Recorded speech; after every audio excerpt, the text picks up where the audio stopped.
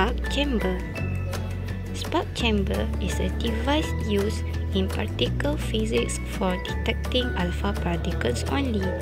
This is because beta and gamma particles have low ionization. Now we're going to talk about the history of spark chamber.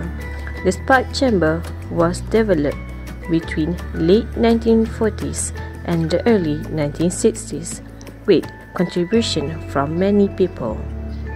Next, it is a first detector demonstrated by Hans Geiger and Walter Muller.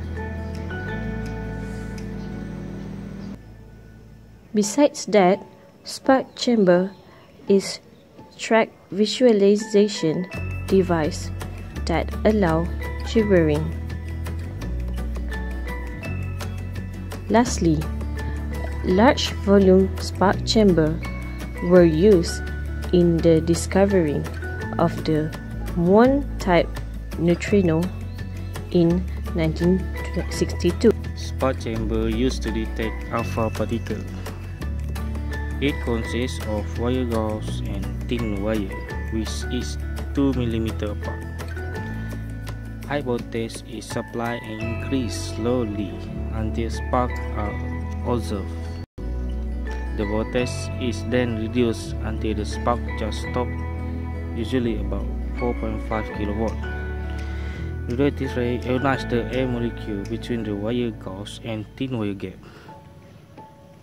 The ions move toward the respective terminal. The spark counter record the number of sparks to determine the intensity of the radioactive rays. Here are the advantages and disadvantages of spark chamber. Firstly, the advantages of spark chamber are worldwide use track visualization device that allow triggering.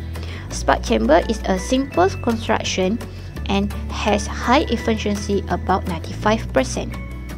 The disadvantages of spark chamber are low resolution and detail.